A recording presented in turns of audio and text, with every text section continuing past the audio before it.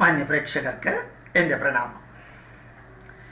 ഇന്ന് ഒന്ന് രണ്ട് ക്രിസ്ത്യൻ സഹോദരന്മാർ എനിക്കൊരു ഇമെയിൽ അയച്ചു.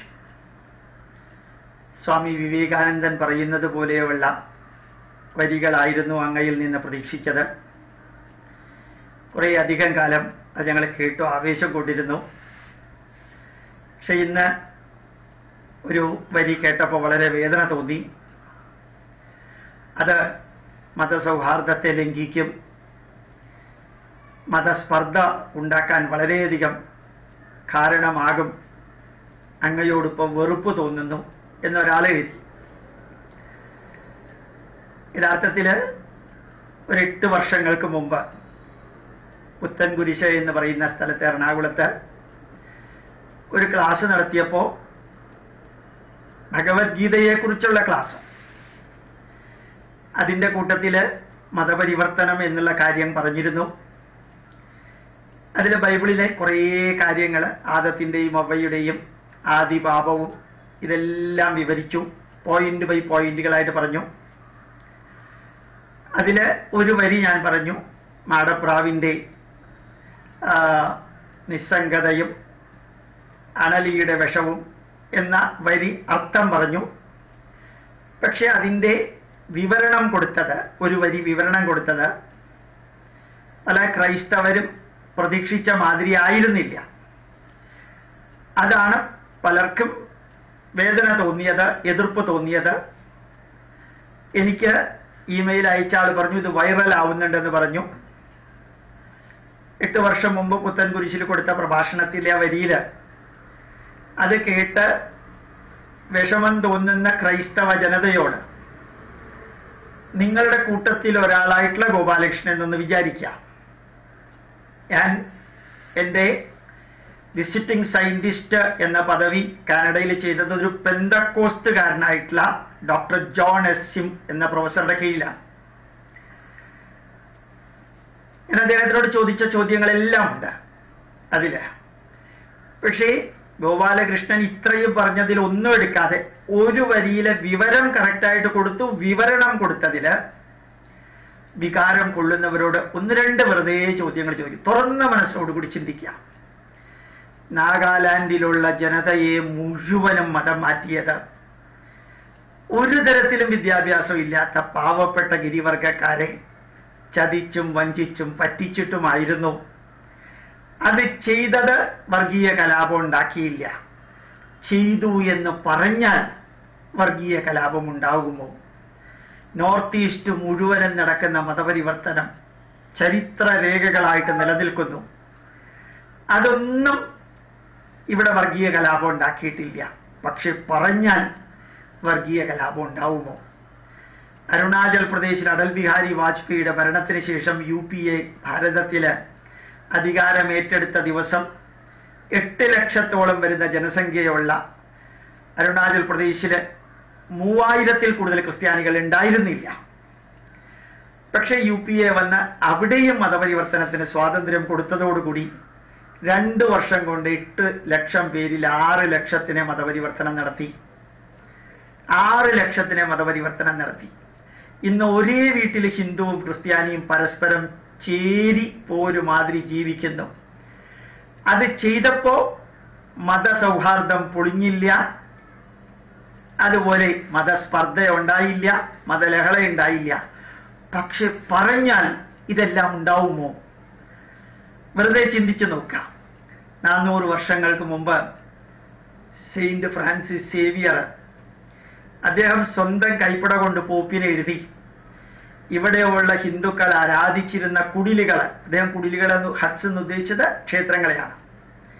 ആ കുടിലുകളിലുള്ള വിഗ്രഹങ്ങൾ അവരെ കൊണ്ട് തന്നെ തച്ചൊടച്ച് അതിൽ മൂത്രം ഒഴിപ്പിച്ച് കാർക്കിച്ച് തുപ്പിച്ച് അവർ അതിനെ നശിപ്പിക്കുന്നത് കാണുമ്പോൾ എന്റെ മനസ്സിൽ തോന്നിയ ആത്മാനന്ദത്തിനൊരു പരിധിയില്ല. ഒരു കണക്കില്ല പരിധിയില്ല എന്ന് അദ്ദേഹം എഴുതി പോപ്പിന്. ആയിരത്തി നാനൂറ്റി പത്ത് ക്ഷേത്രങ്ങളെ ഹിന്ദുക്കളെ കൊണ്ട് തച്ചോടപ്പിച്ച് അവരെ കൺവേർട്ട് ചെയ്തു. ഗോവ ഇൻക്വിസിഷൻ എന്ന് പറയുന്ന ഒരു ഒരു പുസ്തകമുണ്ട് വെറുതെ ഒന്ന് നോക്കണം നിങ്ങൾ ഇതിനകത്തുള്ള ആർട്ടിക്കിൾ ഈ ഗോവ ഇൻക്വിസിഷൻ എഴുതിയത് പോർച്ചുഗീസുകാരാണ് ഇന്ത്യക്കാരല്ല ബി ജെ പിക്കാരല്ല ആർ എസ് എസ്കാരല്ല. ആ സെയിന്റ് ഫ്രാൻസിസ് സേവിയർ മതപരിവർത്തനം നടത്താൻ വിസമ്മതിച്ച നാൽപ്പതിനായിരം ഹിന്ദുക്കളെ കൊന്നു. അത്രയും മുക്കുവരെ കൺവെർട്ട് ചെയ്തു. ആ ഹിന്ദുക്കളെ കൊന്നതും ക്ഷേത്രങ്ങൾ തച്ചൊടച്ചതും അതിൽ മൂത്രമൊഴിപ്പിച്ചതും കാർക്കിച്ചു തുപ്പിച്ചതും ലാറ്റിൻ കത്തോലിക്കൻ എന്ന വിഭാഗത്തെ ഉണ്ടാക്കിയതുമായിട്ടുള്ള ആ സെയിന്റ് ഫ്രാൻസിസ് സേവിയർ പത്ത് നാനൂറ് വർഷങ്ങൾക്ക് മുമ്പാണ് അത് ചെയ്തത് എന്നുള്ളത് അവിടെ ഇരിക്കട്ടെ. ഈ സംസ്കാരത്തെ ഇല്ലാതെയാക്കി അയാൾ ഇങ്ങനെ ഒരു ഹീനകൃത്യം ചെയ്ത് അയാളെ പോർച്ചുഗീസിൽ പോലും സെയിന്റായിട്ട് വാഴ്ത്തിയിട്ടില്ല. കേരളത്തിലും ഗോവയിലും തമിഴ്നാട്ടിലും മുഴുവനും സെയിന്റ് ഫ്രാൻസിസ് സേവിയറുടെ പള്ളി വരുന്നത് നിത്യവും കാണാം. ഇത്രയും പേരെ കൊന്നതും മതപരിവർത്തനം നടത്തിയതും ക്ഷേത്രങ്ങൾ തകർത്തതും അതുപോലെ അയാൾക്ക് വേണ്ടിയിട്ട് പള്ളികൾ ഉണ്ടാക്കുന്നതും ഒന്നും മതവിദ്വേഷമോ മതലഹളയോ അല്ലെങ്കിൽ മതസ്പർദ്ധയോ ഉണ്ടാക്കിയില്ല. അത് പറഞ്ഞാൽ അത് വർഗീയം. അത് വർഗീയ വിഷം വമിക്കൽ. ചെയ്താൽ കുഴപ്പമില്ല. ഒരു തരത്തിൽ പാകിസ്ഥാന്റെ കൊടി പിടിച്ച് പാകിസ്ഥാന് ജയ് വിളിച്ച് പാകിസ്ഥാൻ ജയിച്ചപ്പോ പടക്കം പൊട്ടിച്ചാൽ അത് വർഗീയമല്ല ദേശദ്രോഹമല്ല. ഇതൊക്കെ ചെയ്തു എന്ന് പറഞ്ഞാൽ വർഗീയം ദേശദ്രോഹം. തീവ്രവാദിയെ സപ്പോർട്ട് ചെയ്താൽ ദേശദ്രോഹമല്ല. സപ്പോർട്ട് ചെയ്തു അത് തെറ്റാണ് എന്ന് പറയുന്നതിന് പകരം മനുഷ്യാവകാശമാണെന്ന് പറഞ്ഞാൽ വർഗീയമായി പോയി. തീവ്രവാദിയെ സപ്പോർട്ട് ചെയ്യുന്നതിനെ എതിർക്കരുത്. എതിർത്താൽ അത് വർഗീയമായി പോയി. അപ്പോ ഇത്രയും രീതിയിൽ ഞാൻ പറഞ്ഞ ബൈബിളിലെ ഒരു വരി മിസ്ഇന്റർപ്രറ്റ് ചെയ്ത് ക്രിസ്ത്യാനികൾക്ക് ഇഷ്ടമില്ലാതെ വന്നപ്പോഴാണ് മതസ്പർദ്ധ വളർത്തുന്നത്. എന്റെ ക്രൈസ്തവ സഹോദരന്മാരെ ബിഷപ്പുമാരെ കർദിനാൽമാരെ പാതിരിമാരെ ലക്ഷക്കണക്കിന് പൂർണ സമയ ഭാഗിക സമയ പ്രവർത്തകർ ഭാരതത്തിൽ മുഴുവനും ധ്യാന കേന്ദ്രങ്ങൾ നടത്തി ലേസർ കൊണ്ട് കാണിച്ച് യേശു പ്രത്യക്ഷപ്പെട്ടു എന്ന് പാവപ്പെട്ടവരെ കാണിച്ചു മതപരിവർത്തനം നടത്തിയാൽ മതസ്പർദ്ധ വളരില്ല. അല്ലേ? അല്ലെങ്കിൽ മതലഹള ഉണ്ടാവില്ല. അങ്ങനെ ചെയ്യുന്നു എന്ന് പറഞ്ഞാൽ മതലഹള ഉണ്ടാവും. അതാണോ വർഗീയത? ചെയ്യുന്നത് വർഗീയതയല്ല പറയുന്നത് വർഗീയത. വെറുതെ നിങ്ങളൊന്ന് ചിന്തിച്ചു നോക്കാം. എത്ര എത്ര വ്യക്തികളെയാ കേരളത്തിലും ഭാരതത്തിലും മതപരിവർത്തനം നടത്തുന്നത്? യേശുവിന്റെ മഹത്വം കാണിച്ചിട്ടൊന്നുമല്ല. ഈ ധ്യാന കേന്ദ്രങ്ങളിലൂടെ തെറ്റിദ്ധരിപ്പിച്ചിട്ടും ക്രിസ്ത്യാനികൾക്ക് ഹിന്ദുവിന്റെ പേരും നമ്പൂതിരിയുടെ പേരും ഇട്ട് ധ്യാന കേന്ദ്രങ്ങളിലും മരുന്ന് കൊടുത്ത് യേശുവിനെ പ്രാർത്ഥിച്ചിട്ട് അസുഖം ഭേദമായി എന്ന് വരുത്തി തീർക്കലിലൂടെയുമാണ് ഈ മതപരിവർത്തനം നടക്കുന്നത്. അത് ചെയ്യുന്നതൊന്നും വർഗീയതയല്ല വർഗീയ കലാപം ഉണ്ടാവില്ല. പറഞ്ഞാൽ വർഗീയതയും വർഗീയ കലാപവും ഉണ്ടാവും. ഹിന്ദുക്കളെ എത്ര പേരെ മതപരിവർത്തനം നടത്തിയാലും വർഗീയതയല്ല വർഗീയത കലാപം ഉണ്ടാവില്ല. അങ്ങോട്ട് പോയവർക്ക് എന്നെങ്കിലും ഇങ്ങോട്ട് വരണമെന്ന് തോന്നി വന്നാൽ അത് വർഗീയതയായി സാമുദായിക ലഹള ഉണ്ടാക്കുന്നതായി അത് മതേതരത്വത്തിനെതിരായി എല്ലാമായി. ഇനി ഞാൻ വീണ്ടും തിരിച്ച് ആദ്യത്തേതിലേക്ക് തന്നെ വരാം. ഒന്ന് ചിന്തിച്ചു നോക്കാം ബൈബിളിലെ ഒരു വരി കറക്റ്റായിട്ട് പറഞ്ഞ് വിശദീകരണം കൊടുത്തതിൽ ക്രിസ്ത്യാനികൾക്ക് ഇഷ്ടപ്പെടാതെ വന്നു എന്ന് പറഞ്ഞിട്ടാണല്ലോ അത് വൈറലായി എന്ന് പറഞ്ഞ ഒരാൾ എന്നെ അറിയിച്ചത്.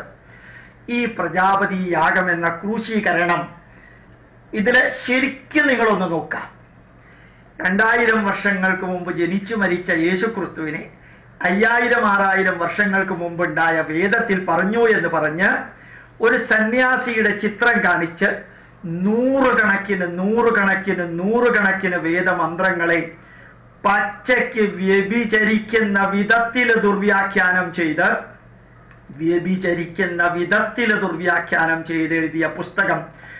പത്ത് ലക്ഷക്കണക്കിന് കോപ്പികൾ ഡോക്ടർ കോശി എബ്രഹാം എന്ന് പറയുന്ന ഒരു ഡോക്ടറേറ്റ് ഉള്ള റാന്നിയിൽ ജീവിക്കുന്ന ഒരു വ്യക്തി കോശി അബ്രഹാം റാന്നിയിൽ ജീവിക്കുന്ന ഒരു വ്യക്തി എഴുതി പ്രചരിപ്പിക്കുന്നു.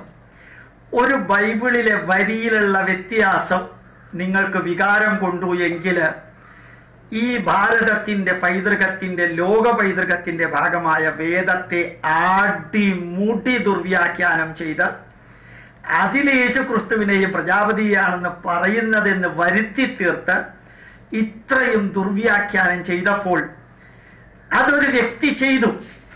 ആ ചെയ്തത് അവിടെ കൊണ്ട് തീരുന്നില്ല.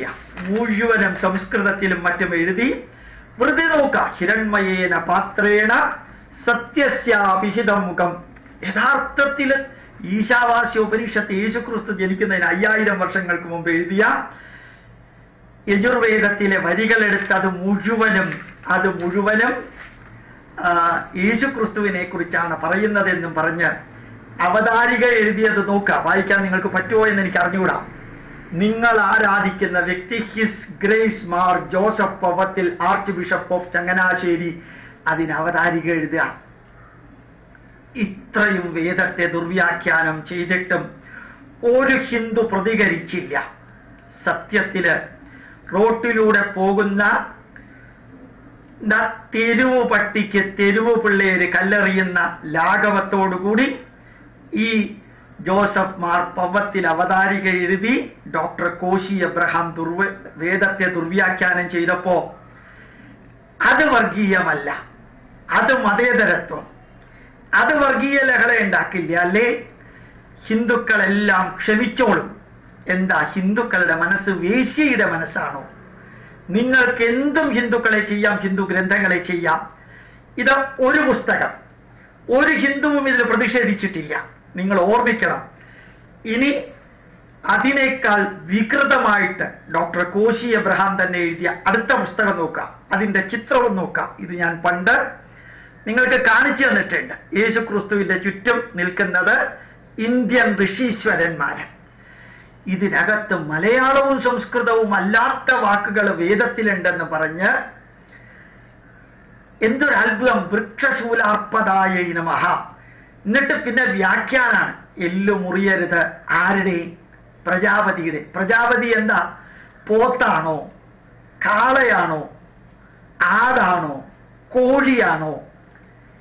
തൊലി മുറിയരുത് എല്ലൊടിയരുത് ചോര ഇത് വേദത്തെ പച്ചയ്ക്ക് പട്ടിക്ക് കല്ലെറിയുന്ന മാതിരി എറിഞ്ഞ് ഈ ഡോക്ടർ കെ സി എബ്രഹാം എന്ന കോശി എബ്രഹാം എന്ന ഡോക്ടറേറ്റ് ഉള്ള ആ മനുഷ്യൻ മാനസിക രോഗിയാണെങ്കിൽ ഒരുപക്ഷെ ചങ്ങനാശ്ശേരി ബിഷപ്പ് ഇങ്ങനെ ഒരു കത്തെഴുതില്ല അവതാരികയായിട്ട്. എന്നിട്ട് ഹിന്ദു പ്രതികരിച്ചില്ലല്ലോ. ഇതെല്ലാം ചെയ്യുന്നു എന്ന് പറഞ്ഞാൽ വർഗീയത. ചെയ്താൽ വർഗീയതയല്ല. ചെയ്താൽ വർഗീയ ലഹള ഉണ്ടാവില്ല. ചെയ്തു എന്ന് പറഞ്ഞാൽ വർഗീയ ലഹള. ചെയ്താൽ സഹിഷ്ണുത. ചെയ്യരുത് എന്ന് പറഞ്ഞാൽ അസഹിഷ്ണുത. ഈ രാഷ്ട്രത്തിന്റെ ധർമ്മത്തെ എന്തിനാ നിങ്ങൾ ഇങ്ങനെയധികം മതപരിവർത്തനത്തിന് ഉപയോഗിക്കുന്നത്? ഹിന്ദു പേര് വെച്ച് യേശുക്രിസ്തു ഭാരതീയൻ എന്ന് പറഞ്ഞ് വേറൊരു പുസ്തകം. ഇത് എഴുതിയതിന്റെ പുറകിലും ഒരു ഉദ്ദേശമില്ല. ഭാരതീയനായതുകൊണ്ട് യേശുക്രിസ്തുവിനെ സ്വീകരിക്കാൻ ഭാരതീയർക്ക് എന്താ വിഷമം? അങ്ങനെയും സ്വീകരിപ്പിക്കാം. ക്ഷേത്രത്തിലെ എല്ലാ ആചാരങ്ങളും അനുഷ്ഠാനങ്ങളും പള്ളിയിലേക്ക് എടുക്കാം. അപ്പോ ഹിന്ദുക്കളെ ധാരാളം വരും. പള്ളിയിലെ ഹൈന്ദവ ധർമ്മത്തെ എതിർക്കുക. രണ്ട് രീതിയിൽ ഒന്ന് ഇത് അങ്ങോട്ടെടുക്കുക അത് വർഗീയതയല്ല. അത് വർഗീയ കലാപം ഉണ്ടാക്കില്ല. അത് മതേതരത്വം.